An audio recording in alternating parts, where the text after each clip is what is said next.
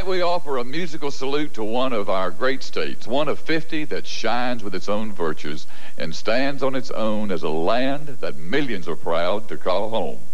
It's going to be hard to hide this one very long because it's 800 miles wide. About one half of the United States is considered western states, but most everyone thinks of tonight's choice as the typical Wild West state. Let me take a wild guess. All right, go ahead. Rhode Island. You're right about one thing. That's a pretty wild guess. Close? You sure are only about 2,000 miles off. Great. That's closer than I got the last time. The wide open spaces tonight belong to the great state of Texas. In fact, when it was annexed into the United States, if Texas really wanted to, it could divide itself into five states. We all know that's not going to happen because Texas just wouldn't be Texas unless it was the tallest, the widest, and the best. Like the old joke, you can always tell a Texan, but you can't tell him much. You can bet the Texan will always tell you about what's deep in his heart.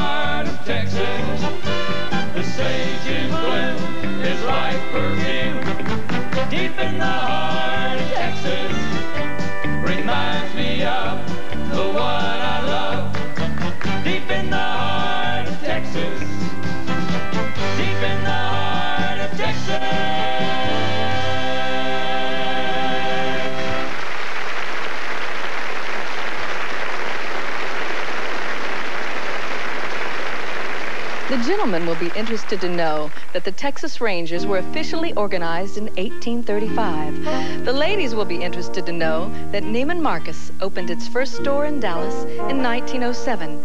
I wonder how the prices were back then. I know there's been a lot of music that's bounced around Texas, but none has ever hit the note on the head, quite like Bob Wills. He made Western swingers out of everybody when he wrote and played San Antonio Rose.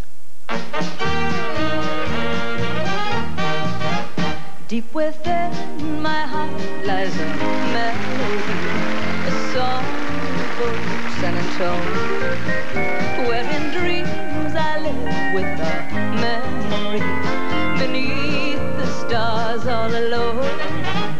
It was there I found beside the yellow moon, enchantment strange as the blue above, above, a moonlit house that only he would know. Of love. Moon all your splendor knows only my heart. All like my rose, rose of San Antonio. Lips so sweet and tender, like petals falling apart. Speak once again of my love, my own broken song. Words I know still live in my heart all alone. For the moonlit house by My rose, my rose Antonio.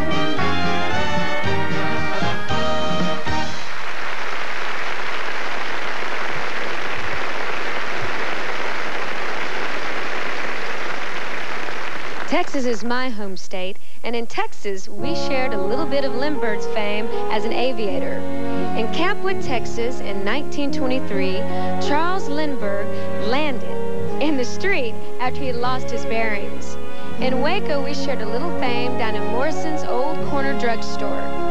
The soft drink Dr. Pepper was originated in 1885, and in Dallas, we once had a dentist named Doc Holliday. Yep, you're right. He was the gunfighter that Wyatt Earp once called the most dangerous man in the world. In fact, this might have been Doc's theme song.